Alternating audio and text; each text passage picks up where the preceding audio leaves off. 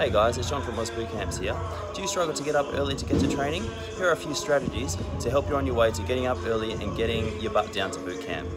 If you're a snoozer, make sure you don't put on the snooze the night before. Set an alarm for a time and make sure you get up at that time. And as soon as the alarm goes off, put your legs out of the bed and stand up. This will make it a lot easier to get up. Make a training date with a buddy. If you are accountable to another person, you are less likely to cancel on that session because you will be letting your friend down. So make some training buddies and get down to training with your buddies. Either sleep in your training clothes or have your training clothes ready to go so all you need to do is slip into them and get into the car and get down to training. This way you'll have one less thing to, to think about when you get up in the morning. If you have a buddy that struggles to get up early in the morning for training, tag them in this, give them these hints and tips.